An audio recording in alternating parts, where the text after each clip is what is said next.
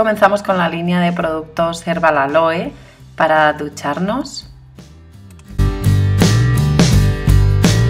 A continuación vamos a ponernos un tónico de la línea Herbalife Skin, como es en spray simplemente lo aplicamos sobre el rostro, después el contorno de ojos es en gel, es un contorno que refresca, hidrata, y a continuación vamos con la crema hidratante de día. Es una crema muy hidratante. Si queréis que haga una review de estos productos podéis dejarlo en comentarios. Nos aplicamos por todo el rostro y extendemos muy bien por todo el rostro para que se absorba correctamente. Esta es la línea Herbalife Skin. A continuación cepillamos el pelo, en este caso estoy utilizando el Tangle Teaser de, de viaje Desenredamos bien y después aplicamos un tratamiento. Voy a ponerme queratina de la firma Stilius de Mercadona que se fija muy bien con el calor. A continuación secamos muy bien el pelo con el secador porque después vamos a plancharlo con las planchas GHD. Lo planchamos bien y en el final giramos la plancha para rizar las puntas. Esto lo hacemos con todo el cabello, sección por sección y este sería el resultado con las puntas rizadas.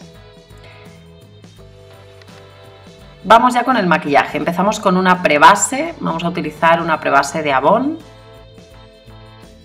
La extendemos por todo el rostro. Es la Face Perfecto.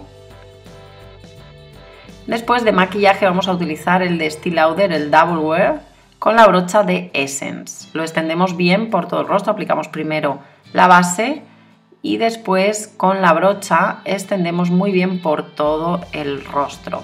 Aquí me tomo mi tiempo porque me gusta dejar la piel muy difuminada. Después utilizamos una prebase para párpados, este, en este caso es de Avon, me gusta bastante, es el segundo envase que uso, lo aplicamos con los dedos y lo extendemos muy bien por todo el párpado. Sellamos todo con polvos translúcidos, en este caso son los de Too Faced, los Absolutely Infinity y utilizamos una brocha para polvos que son las nuevas que ha sacado Avon ahora últimamente. Aplicamos por todo el rostro, yo tengo la piel grasa así que lo aplico por todo el rostro y a continuación voy a rellenar las cejas y delinearlas con el lápiz de Catrice y lo difumino con el gupillón que tiene al final el propio lápiz. Una vez que he hecho esto, vamos con las sombras. Vamos a usar la paleta Naked, la primera, y con, una, con un pincel de eh, lengua de gato cogemos la sombra Toast, en este caso, y la aplicamos muy bien por todo el párpado móvil. Tiene que quedar todo bien cubierto, incluso subir un poquito hacia la cuenca. Y a continuación con un pincel para difuminar, en este caso el 227 de Zoeva, difuminamos todo eh, lo que hemos hecho con la sombra Toast de la Naked lo difuminamos bien como si estuviéramos haciendo un ahumado. Una vez que está todo difuminado, bueno, paramos para beber un poquito, salud, y vamos con la sombra Hustle, que es una sombra eh, más oscura y vamos a ponerla en, para marcar la V externa de la cuenca.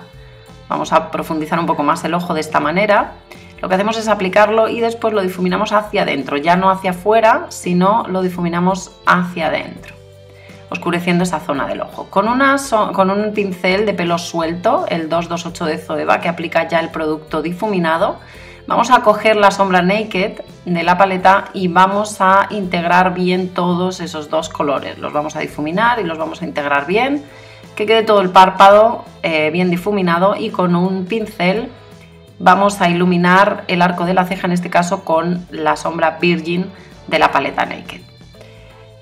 Eh, iluminamos bien el arco de la ceja y a continuación volvemos a la, mm, a la primera sombra que hemos utilizado, que es la sombra Toast, para aplicarla debajo a ras de pestañas inferiores.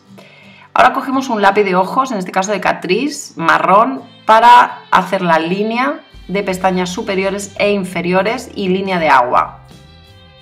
De esta manera marcamos bien el ojo y después con un eh, pincel de pelo corto lo que vamos a hacer es rasgar el ojo difuminando estas dos líneas, tanto la de abajo como la de arriba y sacando hacia afuera un poquito el rabillo. De esta manera rasgamos un poquito el ojo. Con un pincel finito vamos a iluminar el lagrimal con la sombra Virgin de nuevo. Iluminamos muy bien el lagrimal para dar un poquito más de luz a la mirada. Y ahora ya vamos con la máscara de pestañas. Vamos a utilizar de Essence la Get With Lashes. Es muy negra, deja las pestañas muy largas, aunque no es de mis preferidas, tengo que decirlo. Aplicamos varias capas de máscara de pestaña, tanto en pestañas superiores como inferiores. El coloreto usaremos el de Sleek, el de los tríos Blast by 3, el, eh, se me está gastando el, el Pure y lo aplicamos en las manzanitas. Se me había olvidado ponerme un bálsamo porque vamos a ponernos los labios rojos. Esto es importante que lo hagamos al principio, pero bueno, como todavía me tenía que vestir, pues no pasa nada. Vamos a cambiarnos. Este es el look, el outfit. Llevaré una chaqueta de Primark roja, una blusa de Stradivarius blanca, los pantalones de la marca Fiesta y los zapatos de blanco. El colgante es de Lola Grace y unos pendientes de oro de joyería.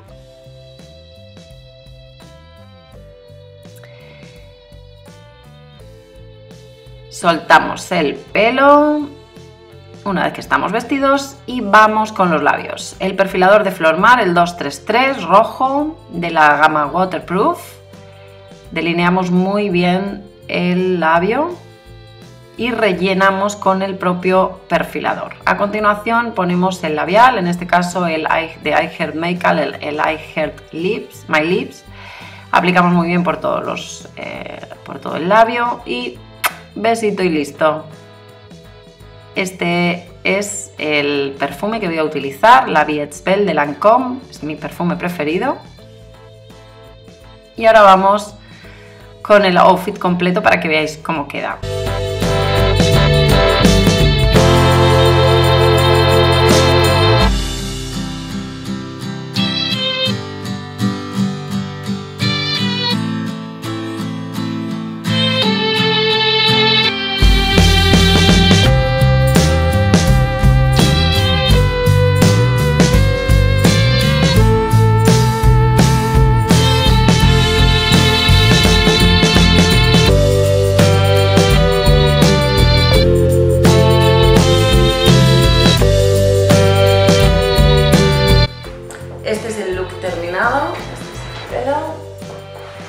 Invito a que te suscribas a mi canal si te ha gustado y a que me sigas en mis redes sociales. ¡Hasta pronto!